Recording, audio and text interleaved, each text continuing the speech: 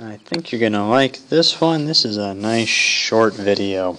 State the conditions for translational and rotational equilibrium of a rigid object.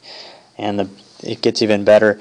We've already done half of this. We know about translational equilibrium. We just called it equilibrium in the past, so we'll just be a little more careful with our terminology from now on. But equilibrium said that the net force has to be equal to zero, or all our forces have to add up to zero. Uh, we usually broke this down into net force in the x direction has to equal zero, and net force in the y direction has to equal zero. If you had a three-dimensional problem, you might include net force in the z direction equals zero, but we tend to just stick with the first two dimensions. So that's right there the conditions for translational equilibrium.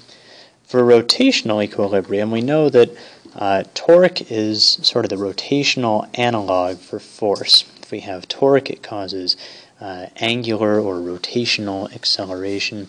Um, so what we want here is for our net torque to equal zero. So for both the uh, translational and rotational equilibrium um, for an object, we have to have these three situations met. So these are three equations then, which might give you a clue that in these problems we might be asked to solve for up to three variables because we have three different equations. So systems of equations are a, a definite possibility here. Now we might be dealing with three separate equations to solve.